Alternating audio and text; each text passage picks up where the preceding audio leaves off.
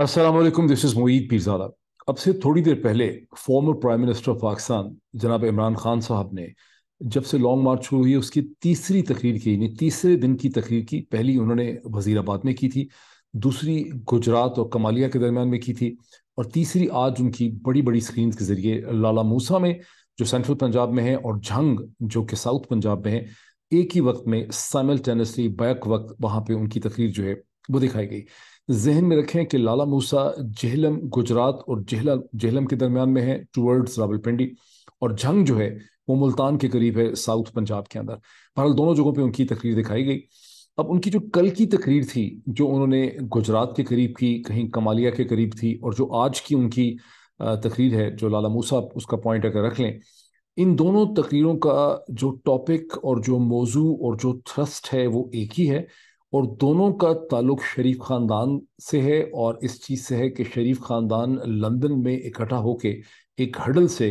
पाकिस्तान के बारे में अहम फैसले कर रहा है और पाकिस्तान के आर्मी चीफ की अपॉइंटमेंट का फैसला एक ऐसा ख़ानदान कर रहा है जो पाकिस्तान से भागा हुआ है एप्सकॉन्डर है, जिसके बारे में करप्शन के बड़े संगीन किस्म के केसेस हैं। तीन आस्पेक्ट्स उन्होंने इसके उठाए। एक ये है कि पाकिस्तान के अहम, क्रूशल, सिग्निफिकेंट फंडामेंटल डिसीजंस जो हैं पाकिस्तान के मुस्तबिल के, वो लंदन से किए जा रहे हैं। दूसरा पॉइंट है कि ये फैसले एक ऐसा ख़ानदान कर रहा है, सारा का सारा इकट्ठा होकर मेरा ख्याल उन्होंने आज तो नाम भी लिए। नवाज़ शरीफ, शहबाज शरीफ, उनके बेटे हसन, हुसैन, मरियम,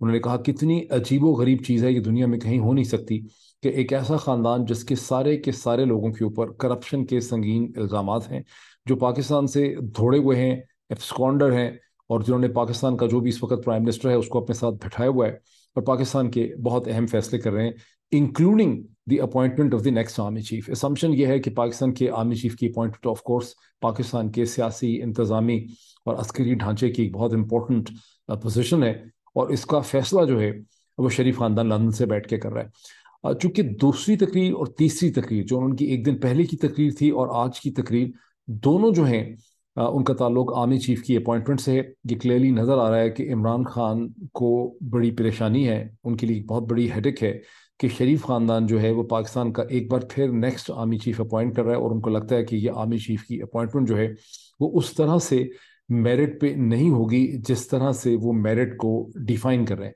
यहाँ मुझे शक है कि वो मेरिट को सीनियोरिटी से डिफाइन नहीं कर रहे, बल्कि वो मेरिट को कुछ और वैल्यूज़ के ज़रिए डिफाइन करने की कोशिश कर रहे हैं। जैसा कि उन्होंने अच्छा गिवन द फैक्ट कि ये बहुत इंपॉर्टेंट है, मैंने इस हवाले से एक बहुत डिटेल्ड वीलॉग जो है, वो रिकॉर्ड किया है, जिसमें मैं कुछ बहुत से आर्टिकल तस्वीरें पिक्चर्स उसके साथ लिंक्ड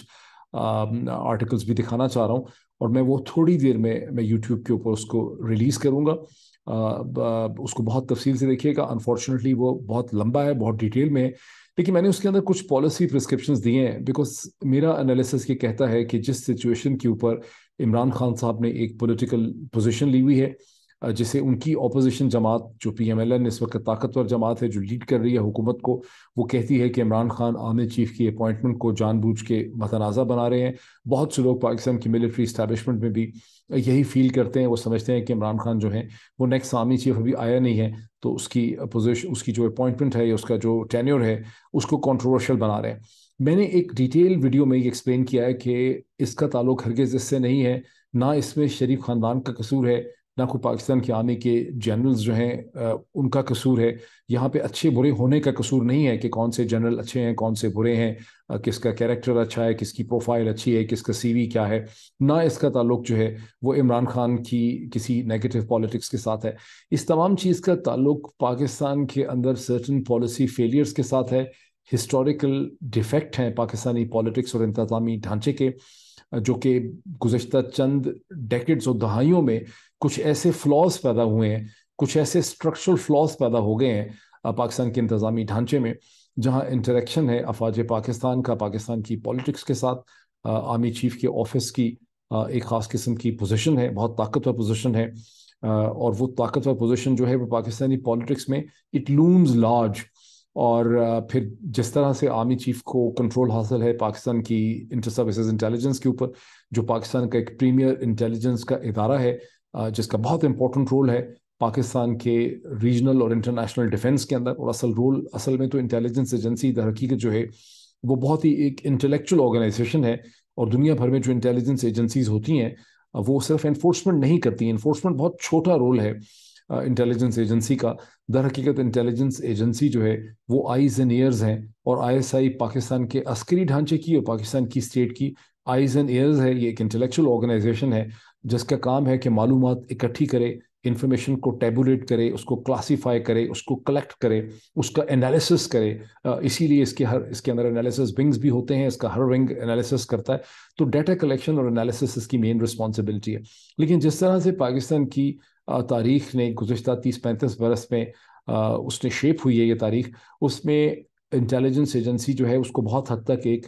इम्प्लीमेंटेशन आर्म या एक इन्फोर्समेंट आर्म या एक पुलिसिंग आर्म के तौर पे देखा गया है। पाकिस्तान के लोगों की, पाकिस्तान के सियासत की और मीडिया की भी अंडरस्टैंडिंग पाकिस्तान की इंटेलिजेंस के बारे में ये है कि ये एक मार धाड़ करने वाली कोई ऑर्गेनाइजेशन है जो उठा लेती है, चला देती है, नंगा लटकाती है, अदालतों को इन्फ्लुएंस करती है, कत्लो गारत करती है, जो एक बिल्कुल फ्लॉड मिस डायरेक्टेड इंप्रेशन जो है वो इंटेलिजेंस के रूल का पाकिस्तान में बन चुका है। तो कुछ ऐसे स्ट्रक्चरल फ्लॉज हैं जो रिफॉर्म मांगते हैं पॉलिसी रिफॉर्म मांगते हैं, नए आइडियाज़ मांगते हैं थिंकिंग का रिफॉर्म मांगते हैं। और इस हवाले से मैंने एक बहुत डिटेल वीडियो रिकॉर्ड की है, जिसके साथ मैं चंद आर्टिकल्स भी लिंक्स में डिस्क्रिप्शन में देना चाहता हूँ। ये मैं इसके बाद थोड़ी देर में मैं ये वीडियो जो है मैं रिलीज़ करूँगा। और ये वीडियो रिलीज़ करने की ये जो एनालिसिस है वी लॉग का, जो डिटेल वीडियो का, इसको करने की ज़रूरत मैंने इसलिए महसूस की कि कल की जो इमरान खान की तकरीर थी, जो सेकेंड स्पीच है after the resumption of long march और जो आज की तकरीर है थर्ड डे की, वो दोनों का बेसिक मौजू ये है कि इमरान खान ये बाबर करवाना चाहते हैं, समझाना चाहते हैं कि शरीफ खानदान जो अपॉइंटमेंट्स लंदन से करने बैठा है वो पाकिस्तान के बेस्ट इंटरेस्ट में नहीं होंगी। वो शरीफ ख़ानदान के अपने ज़ाती नैरो कॉरपोरेट और पोलिटिकल जो इंटरेस्ट हैं ख़ास करके बिज़नेस इंटरेस्ट हैं उनके पेश नज़र ये अपॉइंटमेंट्स करने की कोशिश कर रहे हैं। इमरान खान शहबाज शरीफ और नवाज़ शरीफ को रोक तो नहीं सकते कानूनी तौर पे बिकॉज़ डिसीज़न तो ज़ाहिर है कि नवाज़, कहने को तो शहबाज शरीफ साहब डिसीज़न करेंगे, लेकिन माफ़ कीजिएगा, असल में, यहाँ बहुत ठंड है, जहाँ में जहाँ असल डिसीज़न जो है वो ज़ाहिर है कि नवाज़ शरीफ करेंगे। और इमरान खान इखलाकी तौर पर एक आर्गूमेंट डेवलप कर रहे हैं पाकिस्तान के मीडिया के सामने माशरे के सामने, पॉलिटिक्स के सामने और सबसे बढ़ के पाकिस्तान की मिलिट्री हाई कमांड के सामने उनको ये बावर करवा रहे हैं कि शरीफ खानदान को उनके नैरो इंटरेस्ट के अंदर फैसले करने का मौका नहीं मिलना चाहिए, उनका रास्ता रोकना चाहिए। इसमें इमरान खान कामयाब होते हैं ये नहीं कामयाब होते एक बहुत बड़ी बहस है। बहरहाल मैंने समझा ज़रूरी इस चीज़ को कि एक डिटेल एनालिसिस का किया जाए कि असल मसला है क्या, इमरान खान का खौफ क्या है शरीफ फैमिली का खौफ क्या है? पाकिस्तानी पॉलिटिक्स का खौफ क्या है? क्या वजह है कि पाकिस्तान के आर्मी चीफ की अपॉइंटमेंट में माइकल कुकलमैन भी सर्वे करवा रहे हैं? हिंदुस्तान के अखबार भी इसका एनालिसिस कर रहे हैं। दुनिया भर की नज़रें इस चीज़ के ऊपर लगी हैं। हालाँकि ये दुनिया के किसी भी मुल्क में जो एक सौ नब्बे ममालिक हैं, शायद ही कोई मुल्क ऐसा हो जहाँ आर्मी चीफ की अपॉइंटमेंट के बारे में किसी को इतनी फ़िक्र और इतनी परवाह हो, जिस मुल्क में मैं हूँ, अमरीका में,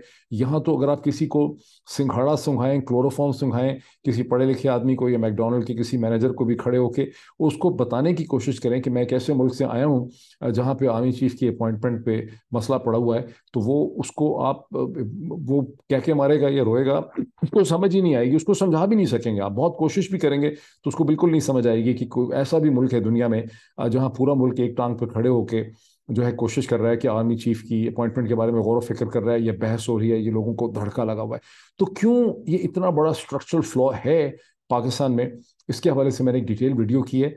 Wait for my next video जो मैं थोड़ी देर में रिलीज़ करता हूँ। Thank you so much